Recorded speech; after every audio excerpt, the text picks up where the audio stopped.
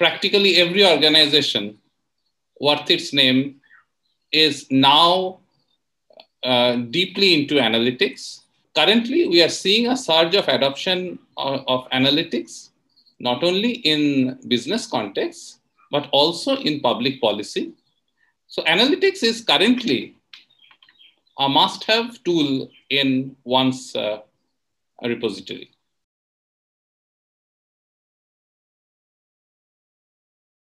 The program sort of looks at all the major functional areas operations, marketing, finance, and human resources, and talks about how analytics can be effectively used in taking important decisions in these areas.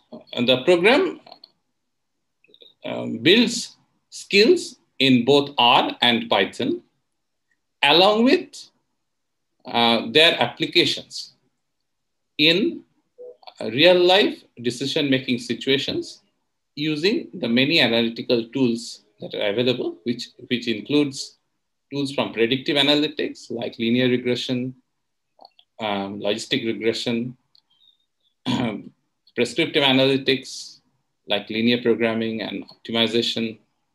Uh, we also have uh, tools coming from machine learning, uh, which are all used uh, for a specific purpose, that is to make decisions uh, in a managerial context.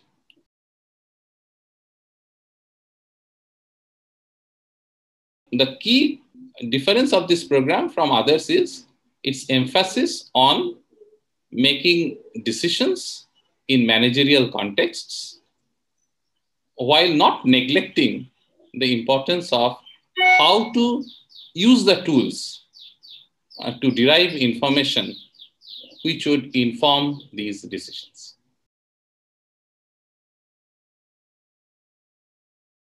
So currently we are recruiting for the fourth batch of this program. The previous three batches uh, had a good experience uh, as they went through this program. And on our part, we also learned of the diverse expectations of the participants uh, who went through this program. And the program uh, is aimed at executives who are who, who have a couple of years of experience in a role which involves database decision making. Uh, while specific uh, capabilities in analytics or computing is not a requirement, but a comfort with uh, numbers and uh, um, and an interest in learning how to program uh, is assumed for this program.